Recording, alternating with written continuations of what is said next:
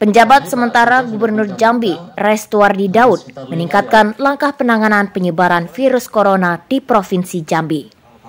Langkah-langkah yang diambil itu terkait penanganan pasien terkonfirmasi positif COVID-19 dan pencegahan penyebarannya.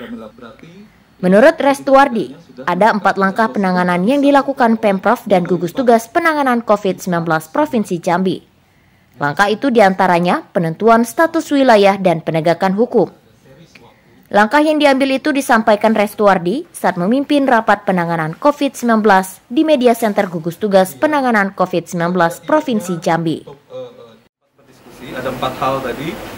Pertama terkait dengan kondisi dan langkah-langkah yang akan diambil. Yang kedua terkait dengan uh, status wilayah. Yang ketiga terkait dengan penegakan hukum dan yang keempat tadi hal-hal lain yang terkait. Jadi kira-kira itu ada empat uh, hal.